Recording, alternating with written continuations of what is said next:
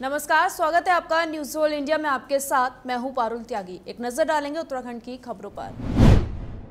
उत्तराखंड के मुख्यमंत्री तीरथ सिंह रावत ने आज पौड़ी ज़िले के पोखड़ा ब्लॉक में पहुंचकर जम्मू कश्मीर की सरहद पर शहीद हुए राइफलमैन मनदीप सिंह नेगी के पार्थिव शरीर को भावहीन मन से श्रद्धांजलि अर्पित की और उनके पार्थिव शरीर पर पुष्प चढ़ाते हुए उन्हें अंतिम विदाई देकर उनके बलिदान को याद किया। बता दें कि शहीद मनदीप सिंह नेगी 11 गढ़वाल राइफल का हिस्सा थे, जो कि सरहद पर राइफलमैन के पद पर देश को अपनी सेवाएँ दे रहे थे।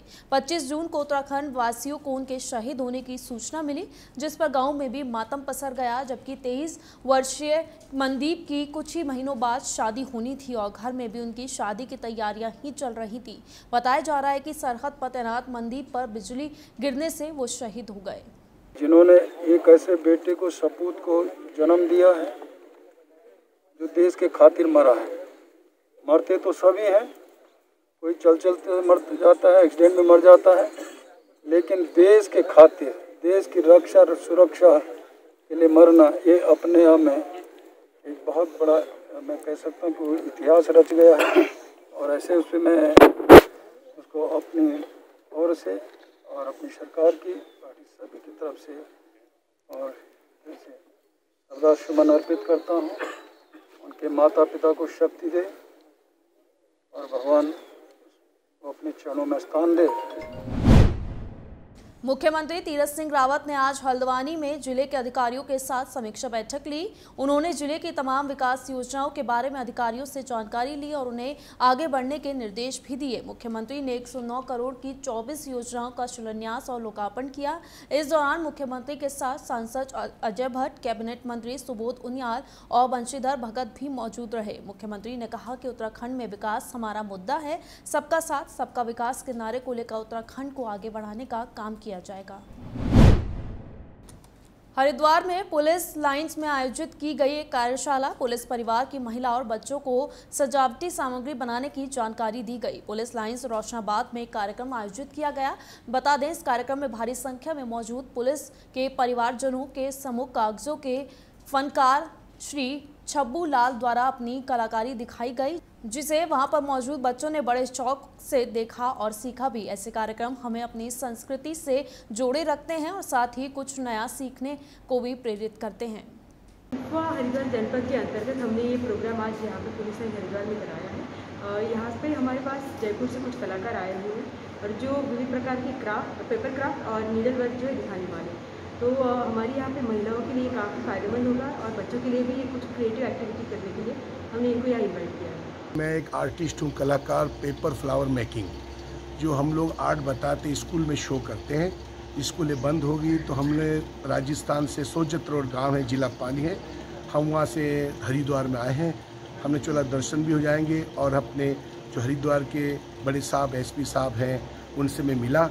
उन्होंने मुझे प्रोग्राम का मौका दिया दिखाने का डेमो करने का तो मैंने मैम साहब, जवानों के सामने पुलिस जो हरिद्वार की है, उनके सामने मैंने डेमो किया पेपर फ्लावर मेकिंग का।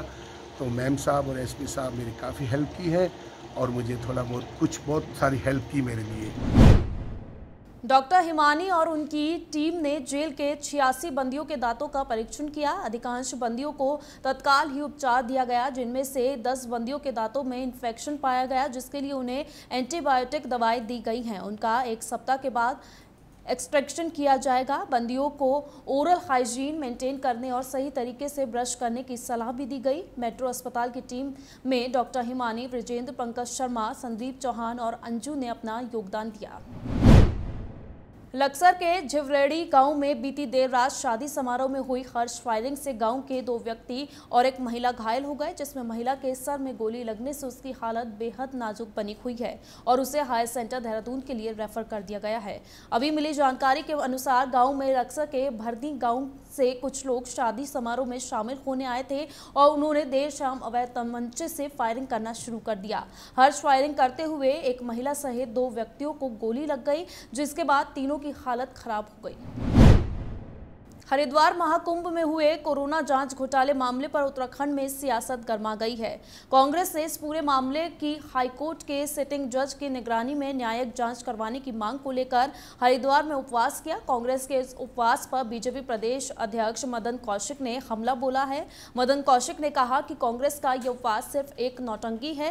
कांग्रेस जनता की नज़रों में आने के लिए ये सब कर रही है। इस समय ये सूचना मिली, तत्काल इस पर एसआईटी गठित हो गई, जाँच बैठ गई। तत्काल इस पर कार्रवाई प्रारंभ हो गई है। और आज कांग्रेस केवल ये नोटंकी करके और कहीं ना कहीं साढ़े चार वर्षों में जो प्रदेश के लिए, विपक्ष के तौर के जनादेश पर कुछ किया नहीं, आज केवल इस प्रकार का एक अपना नोटंकी के माध्यम से लोगों का ध्यान आकर्षित करना चाहती है। भारतीय जनता पार्टी जो पूरी ताकत के साथ कार्यकर्ताओं के साथ कोविड में भी लोगों की सेवा कर रही है, लगातार निरंतरता में, वही कांग्रेस इस प्रकार के कार्यक्रमों में व्यस्त है तो निश्चित रूप से इसका स्थान इस प्रकार कहीं भी नहीं है। हरिद्वार के कुंभ में हुए कोविड जाँच के कथित घोटाले पर प्रदेश में राजनीति अब गर्माती जा रही है। कांग्रेस ने कोविड जाँच, फर्जीवाड़े की उच्च स्तरीय जाँच और दोषियों के खिलाफ कार्रवाई और प्रदेश सरकार के इस्तीफे की मांग को लेकर लालकुआ के बिंदु खता स्थित शहीद स्मारक पर ब्लॉक कांग्रेस कमेटी के अध्यक्ष प्रमोद के नेतृत्व में प्रदेश की सरकार का पुतला दहन किया। इस दौरान कांग्रेस कार्यकर्ताओं ने बीजेपी सरकार के खिलाफ जमकर नारेबाजी करते हुए प्रदेश की जनता से माफ़ी मांगने और सरकार से इस्तीफे की मांग की है। पूरे प्रदेश में डबल सरकार के खिलाफ पुतला दहन का कार्यक्रम कर रहे हैं। और ये कार्यक्रम निरंतर जारी रहेगा, क्योंकि डबल इंजन सरकार हर मोर्चे पर चाहे चाहे कुंभ घोटाले हो, इससे पहले भी कुंभ हुए हैं, घोटाले घोटाले घोटाले बाद सरकार एक कुंभ में लेगी और इसकी बर्खास्त की मांग कर रहे हैं। और इसके अलावा अन्य भी कई महँगाई के विषय हैं, बेरोजगारी के विषय हैं, और डेवलपमेंट के विषय हैं। उत्तराखंड के खबरों में फ़िलहाल के इतना ही, लेकिन देश दुनिया की तमाम खबरों से जुड़े रहने के लिए आप देखते रहिए न्यूज़ वर्ल्ड इंडिया